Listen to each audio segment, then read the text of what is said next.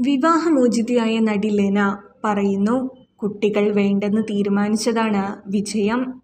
ബന്ധങ്ങളുടെ ബന്ധനമില്ലാതെ ജീവിതകാലം മുഴുവൻ പാറിപ്പറന്ന് നടക്കാൻ ഭർത്താവും കുട്ടികളും വേണ്ട. ആ തീരുമാനമെടുത്തത് മലയാളികളുടെ പ്രിയ നടി ലെനയാണ്. സ്നേഹം എന്ന് ജയരാജ് സംവിധാനം ചെയ്ത ജയറാം ചിത്രത്തിലൂടെ ആയിരത്തി തൊള്ളായിരത്തി തൊണ്ണൂറ്റി എട്ടിലായിരുന്നു ലെന സിനിമയിലെത്തിയത്. നല്ല കഥാപാത്രങ്ങളായിരുന്നു തുടക്കകാലത്ത് ലെനയെ തേടിയെത്തിയത്.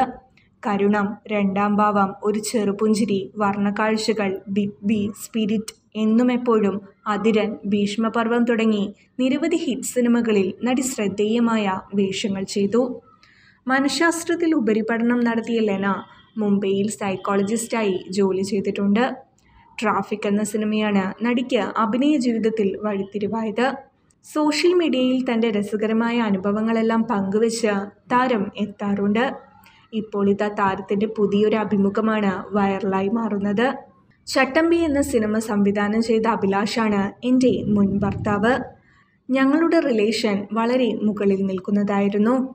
ഇതിനു മുകളിലേക്ക് ഇനി ഇല്ലെന്ന് മനസ്സിലായപ്പോഴാണ് ആ ബന്ധം അവസാനിപ്പിക്കുന്നത്. വേർപിരിഞ്ഞെന്ന് കരുതി ശത്രുക്കളായല്ല ജീവിക്കുന്നത്. ഇപ്പോഴും അഭിലാഷും താനും നല്ല സുഹൃത്തുക്കളാണ് എന്നാണ് ലെന പറയുന്നത്.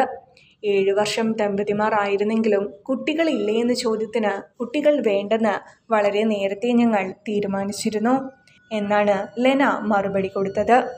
അത്തരത്തിൽ പല തീരുമാനങ്ങളും ഞങ്ങൾ നേരത്തെ എടുത്തിരുന്നു. അതൊക്കെ ഇപ്പോൾ നന്നായി.